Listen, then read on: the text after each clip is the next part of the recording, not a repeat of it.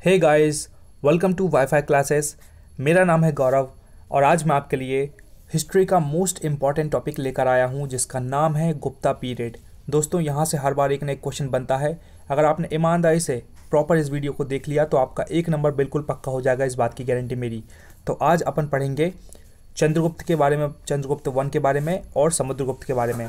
Okay तो start करते हैं विदाउट वेस्टिंग टाइम देखिए दोस्तों, पहला पॉइंट है Chandragupta one married to Lichchhavi princess who strengthen his position and enhance the prestige of the Guptas दोस्तों, जो चंद्रगुप्त वन है ना, उसने लिच्छावी प्रिंसेस से शादी कर ली थी। लिच्छावी प्रिंसेस का नाम था कुमार देवी क्या नाम था? कुमार देवी तो जिसकी वजह से चंद्रगुप्त की पोजीशन में पावर आ गया और बहुत ज़्यादा उनकी इन्हेंस हो गई मतलब उनकी प्रेस्टीज उनका साम्राज्य बहुत पावरफुल हो गया।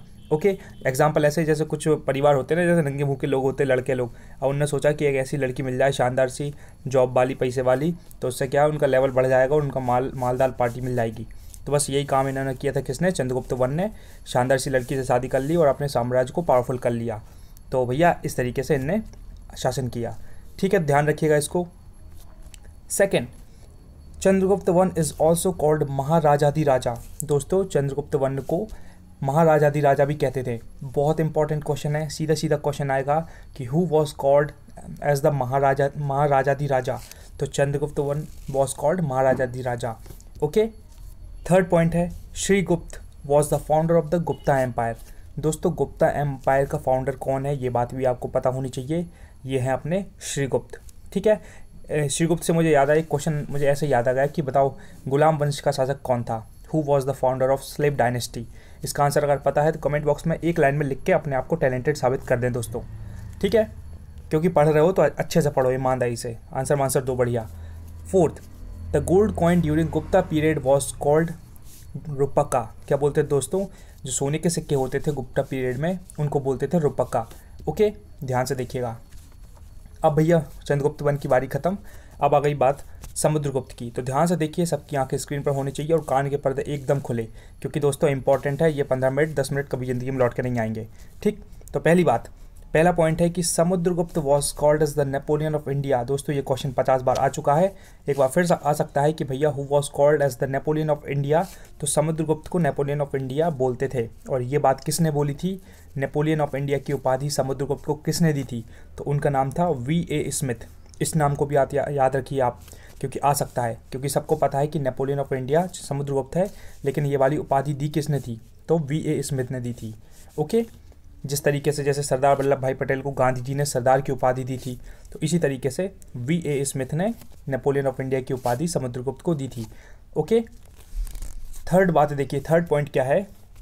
यह है Megh Barman the ruler of Sri Lanka sent a missionary to his court for the permission to build a Buddhist temple Megh Barman भैया एक राजा था, एक श्रीलंका का शासक था, बहुत शानदार।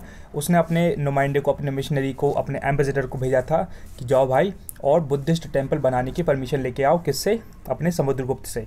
ओके तो ये बात भी इंपॉर्टेंट है। ध्यान रखिएगा। दोस्तों, अगर आपने यहाँ से पढ़ लिया ना तो मैं बता रहा हूँ, कहीं की बुक में जाने की ज़रूरत नहीं है, क्योंकि मैंने पतली वाली अरिहंत की बुक आती ना, मनोहर पांडे की ब्लू कलर की पच्चीस छब्बीस रुपये की, वहाँ से पूरा कंटेंट लिया है। तो आपने ये पढ़ लिया मतलब वाली बुक पढ़ ली। और अगर ये भी नहीं पढ़ा ना तो फिर कोई मतलब नहीं है। फिर तो कहीं से पढ़ लो, बात बराबर ही है। ठीक? तो फोर्थ देखिए फोर्थ है, Hari Sen was the author in the court of Samudragupta.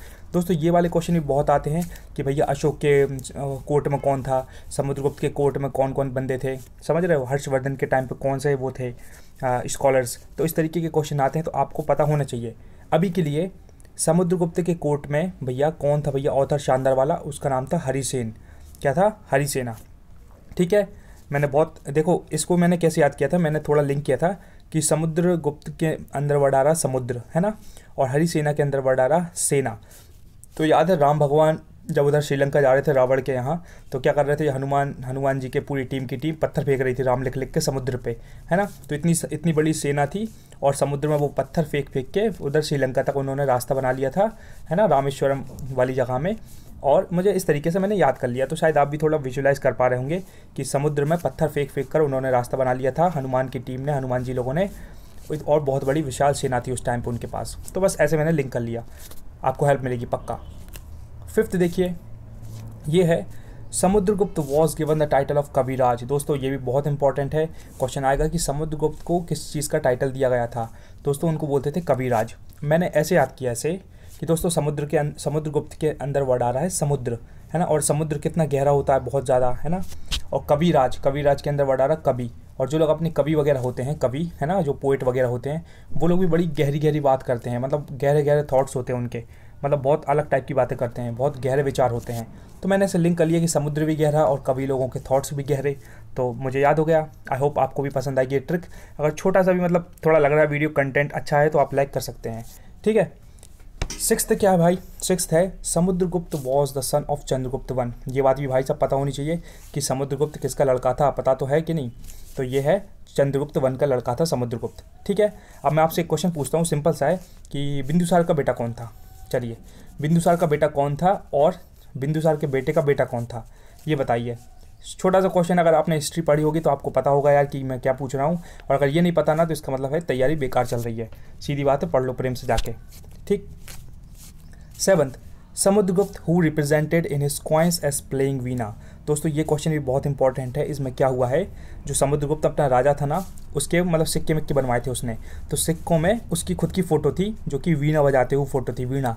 वीणा बजा रहा था, कुछ इंस्ट्रूमेंट होता म्यूजिकल इंस्ट्रूमेंट गिटार की तरह। तो समुद्रगुप्त वीणा बजाते हुए उसकी फ़ोटो बनी थी। तो ये इंपॉर्टेंट क्वेश्चन है। ओके एट्थ पॉइंट क्या है दोस्तों? एट्थ पॉइंट देखिए। ये है Samudragupta ruler was a great musician and an expert player on veena देखिए, वही बात बोली मैंने कि वो वीणा बजाने में चैंपियन थे और एक अच्छे म्यूजिशियन थे। कौन? समुद्रगुप्त। दोस्तों, इतनी सारी बात मैंने समुद्रगुप्त के बारे में बताती ध्यान से पढ़ लेना, एक भी पॉइंट मिस नहीं होना चाहिए। देखो, नौ पॉइंट है। नौ पॉइंट अगर आपने ईमानदारी से कर लिए तो समुद्रगुप्त से क्वेश्चन आपका गलत नहीं होगा। ओके? तो भैया, आपके आपके ऊपर डिपेंड है कि आप कितने फोकस के साथ पढ़ते हैं। ठीक है? नाइन्थ क्या है? Allahabad pillar inscription is the name of inscription belongs to Samudragupta दोस्तों अलाहाबाद पिलर में अलाहाबाद में एक मतलब जो पिलर्स बने हुए हैं, वहाँ कुछ चीज़ें लिखी होती हैं। तो वो किसके बारे में लिखी है? समुद्रगुप्त के बारे में लिखी है। ओके तो इस चीज़ को आप ध्यान रखिएगा। तो गाइज़ मैंने मेरी तरफ़ से पूरा बेस्ट दे दिया है। Now it's your turn to revise this video again and again so that you can learn very well और दोस्तों साइंटिफिक स्टडी है कि जिस बंदे ने बार बार रिवीजन किया है, उसके सिलेक्शन के चांसेस बढ़ गए हैं। तो आप गलत फहमी में मत रहिएगा कि एक बार पढ़ लूँगा मैं या पढ़ लूँगी तो चैंपियन बन जाऊँगी, ऐसा नहीं होता है। दो तीन बार रिवाइज करिए प्ले में डाल लीजिए बार बार देखिए जब जाके आप चैंपियन बनेंगे। है ना? तो मेरी बात ध्यान रखिएगा, बहुत इंपॉर्टेंट है। और आपका सिलेक्शन ज़रूर होगा। Be consistent towards a goal and never ever give up okay and bye